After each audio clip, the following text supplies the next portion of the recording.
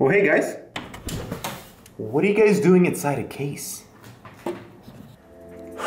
Hello everyone, I'm Dmitry with Hardware Canucks. Welcome to another behind the scenes. Today I'm in a bit of a creative challenge because I am currently filming the review for the Thermaltake Core W200. It is the largest case that we've ever worked with. The whole thing is steel, it's incredibly heavy to pick up in this state. So imagine when I populate two systems into it, it's going to be very difficult to maneuver around my space. So I have uh, a plan. I need to uh, utilize my time in each space that I position the case in. So right now it's against the white wall so I can get my shots. And then I'm going to position the whole thing sort of in the middle of my room here with the background being the, the trees and the balcony there so that I can, uh, I can have full 360 degree space around the case. So I'm hoping it should be fun and I'm psyching myself up for it because I really want to make um, you guys proud with what we can do when it comes to things like that. However, I'm going to be honest with you guys, I am a little bit worried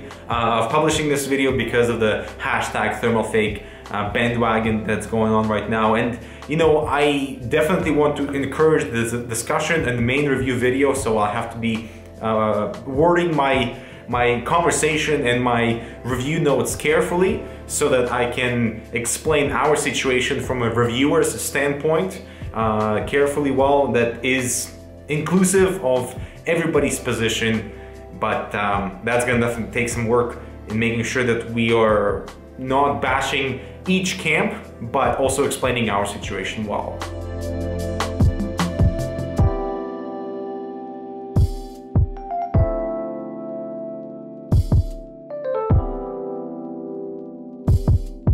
So as I'm filming the case behind me, a very good advice came from Brandon Lee from Linus Tech Tips. He said it's about accepting the compromise of the frame that you want based on your time frame and based on your studio space, aka balance out all the elements that goes into your production so that you can still deliver a visually pleasing image to your audience, but perhaps when you are um, stumble upon some challenges, go outside the box Try not to fully recreate what you've done in the past as I have because this is the largest thing that I've ever filmed. So I'm trying to follow my mentality of how I normally shoot cases, but I have to get out of that mindset and accept the fact that it's going to be a very different shoot. Thanks, Brandon. Love you, man.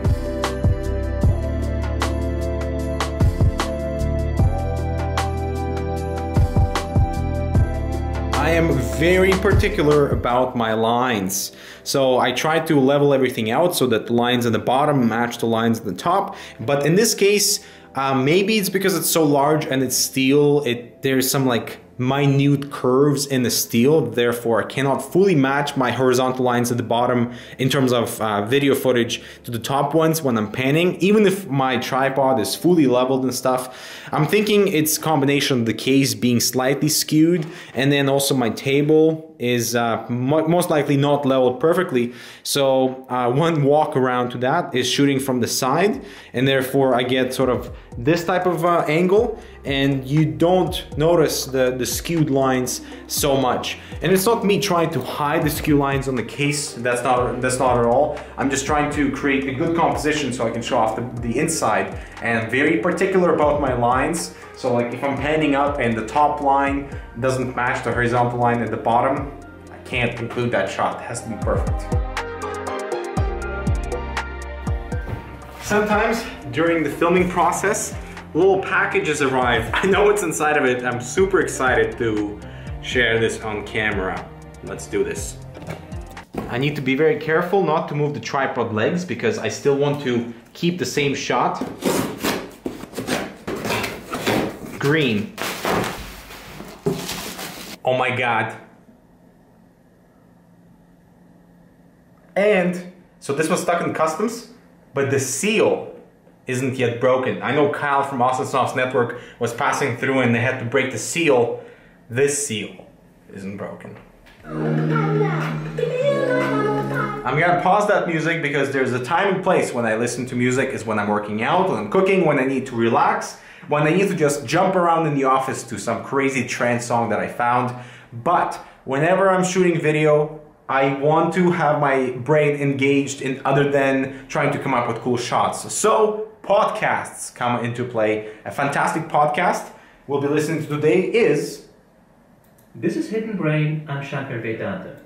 Hidden Brain by NPR. Fantastic show. This is not like a plug-in for them. It's just something that I uh, try to listen to whenever I'm, working so that I can engage my mind because they have fantastic uh, conversations about politics, science, issues, everything that, that you can possibly imagine. Very interesting show. So I can be engaged in here and also here when I'm trying to come up and compose my shots to be as creative as possible.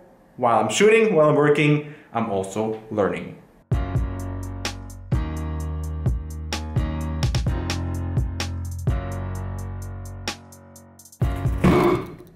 Another package has just arrived. Let's open that up. A gaming headset. Okay, so a little change of plans as to what I'm filming. No longer filming the case, which is right over there. I blocked off the windows because I want to be very dark. I'm creating a very moody video for what's under there, which is the GTX 1080. And this is probably going to be the creepiest introduction that I've ever done because I am the uh, the actor inside of it, the creepy one, and I have a mask, I have a flashlight. I will incorporate like really quick motions in Premiere and also playing with lighting to create a very moody atmosphere and then some ambient like dark sounds in the background plus reverbing everything that I record with the microphone with the GH4 right there. So it sounds like I'm in a like big hall, like kind of rocky sound. So this should be fun. The day is turning out to be completely crazy. I had no idea that this is what we'll be doing, but uh, spoken with Michael, we have this uh, nailed down. This is going to be really, hopefully, um, well-received video.